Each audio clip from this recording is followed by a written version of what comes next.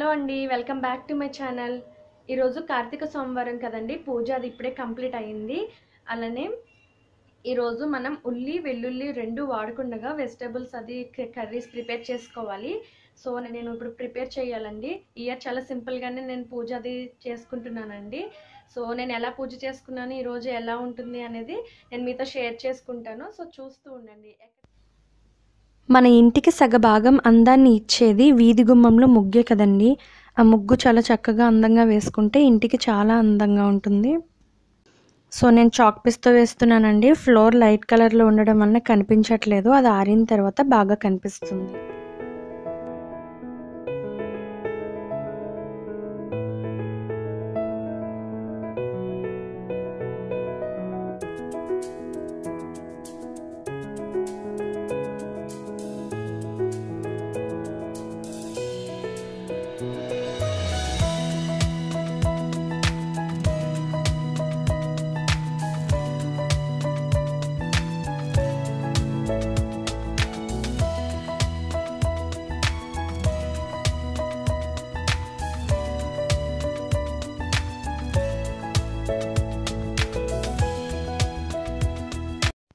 ఈ కార్తీక మాసంలో తులసకోట దగ్గర సాయంకాలం వేళ ఆరు గంటల సమయంలో దీపారాధన చేసుకుంటే చాలా మంచిదండి. అలానే ఈ కార్తీక సోమవారాలు అప్పుడు ప్రొద్దుట సాయంత్రం కూడా చేసుకుంటే కూడా ఇంకా మంచిది. సో అలానే తులసకోట లేనివారు వీధి గుమ్మంలో కూడా దీపారాధన చేసుకోవచ్చు. పూజ పూర్తయిన తర్వాత కార్తీక పురాణం చదువుకుంటే ఇంకా మంచిదండి. ఈ కార్తీక పురాణంలో ముప్పై ఒక్క కథలు ఉంటుంది.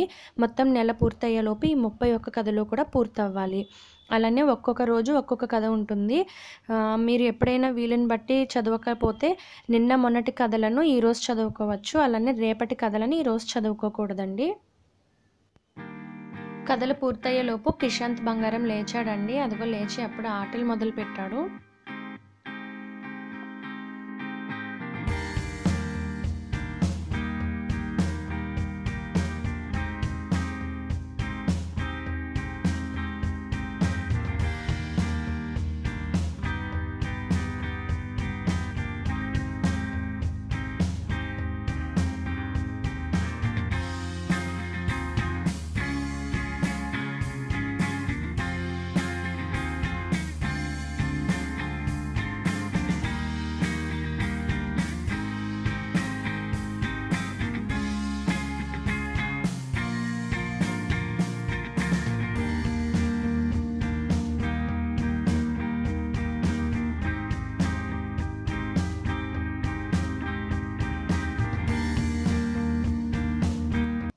రిత్విక్ స్కూల్కి వెళ్ళిపోయాడండి. మార్నింగ్ ఇప్పుడు వీడికి యాపిల్ని నేను బాయిల్ చేసి పెడతానండి బ్రేక్ఫాస్ట్ కింద కిషాంత్కి.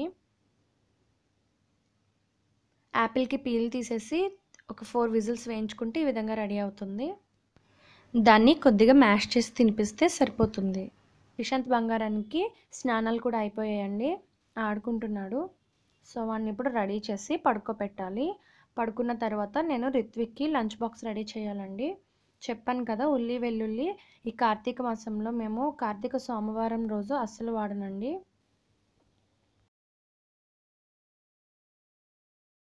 ఇయర్ నేను చాలా సింపుల్గానే చేసుకుంటున్నానండి. బిఫోర్ లాస్ట్ ఇయర్ అయితే కనుక నేను దీపాలు అది వదిలాను. ఈ ఇయర్ లాస్ట్ ఇయర్ నేను ప్రెగ్నెంట్గా ఉన్నాను కదండి. సో కిషాంత్ కన్నా పడుకున్నాడు. ఇప్పుడు నేను వంట స్టార్ట్ చేయాలి. నేను మిమ్మల్ని మళ్ళీ కలుసుకుంటాను.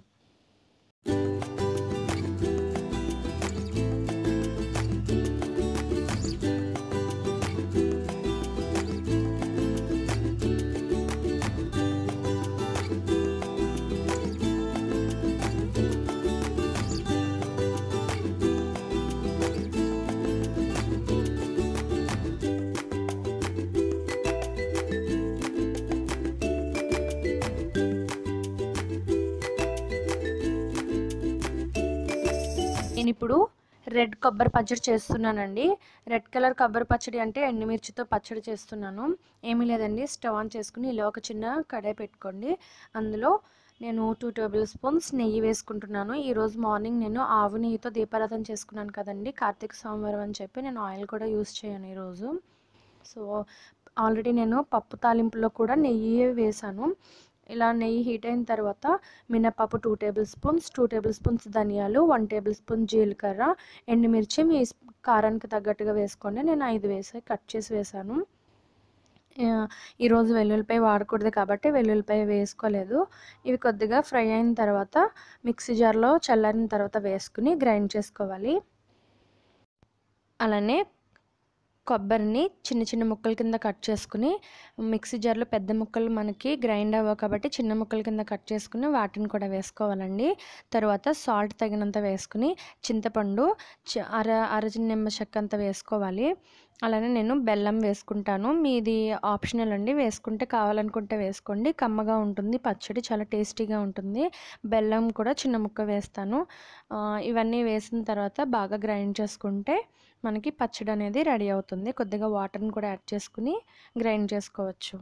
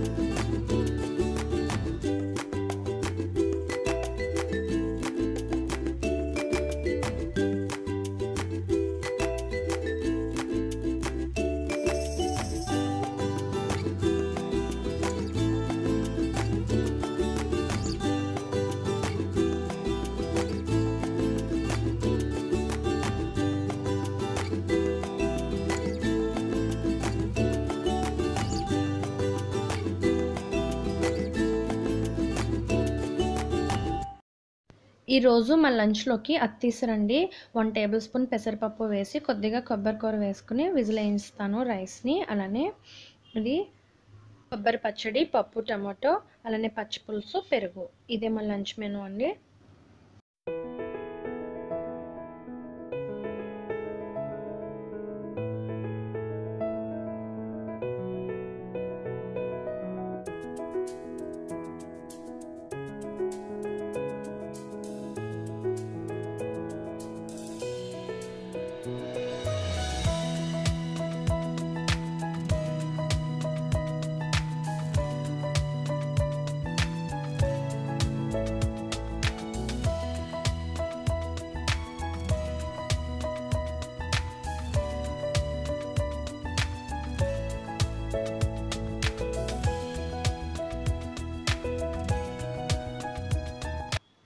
అలానే కిషాంత్కి లంచ్లో పొటాటో అలానే క్యారెట్ బాయిల్ చేసి పెడుతున్నానండి.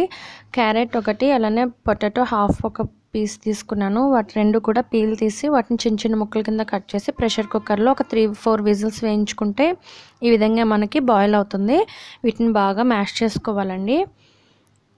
లేదంటే చిన్నపిల్లలకి గొంతు అనేది దిగదు కాబట్టి బాగా మెత్తగా వీటిని బాగా మ్యాష్ చేసుకోవాలి. ఇలా వేసుకున్న తర్వాత చిటికెడు ఉప్పు అలానే కారం కూడా వేసుకోవచ్చండి. పిల్లలకి కారం అలవాటు చేయడం మంచిదే కదండి. మీకు ఆప్షనల్ అండి కావాలితే వేసుకోవచ్చు. సాల్ట్ అది వేసుకున్న తర్వాత బాగా కలుపుకుని పిల్లలకి రైస్లో పెడితే చాలా మంచిదండి. నెయ్యి కూడా వేసుకుంటే. పిల్లలకి వెజిటేబుల్స్ అనేది ఈ విధంగా మనం బాయిల్ చేసి పెడితే హెల్త్కి చాలా మంచిదని ఈ విధంగా మనం ప్రిపేర్ చేసి పెట్టాలండి. వన్ ఇయర్ వచ్చే వరకు ఇదే ప్రాసెస్లో మనం కంటిన్యూ చేసుకుంటే మంచిది వాళ్ళకి. వన్ ఇయర్ తర్వాత మనం ఏ కర్రీ అయితే ప్రిపేర్ చేస్తామో ఆ కర్రీని మనం వాళ్ళకి పెట్టుకోవచ్చు.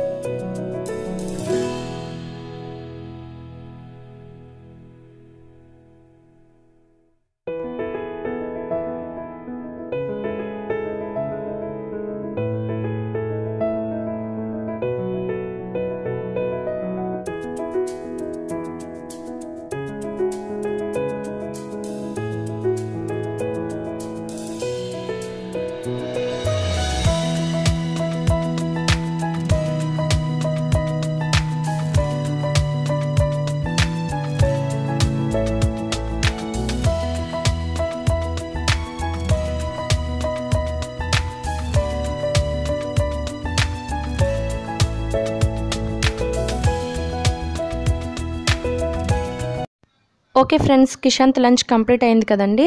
ఇప్పుడు మా లంచ్ కంప్లీట్ చేయాలి. హోప్ మీకు ఈ వీడియో నచ్చిందని నేను అనుకుంటున్నాను. నచ్చితే లైక్ చేయండి కామెంట్ చేయండి షేర్ చేయండి. మరొక వీడియోతో నెక్స్ట్ టైం కలుసుకుందాం. Bye bye. Take care.